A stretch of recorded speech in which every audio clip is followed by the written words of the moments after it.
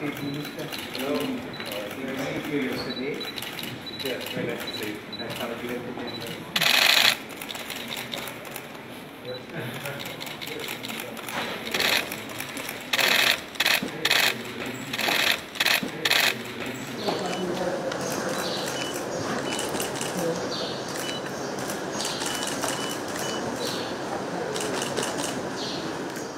Ambassador di lagi. Tadi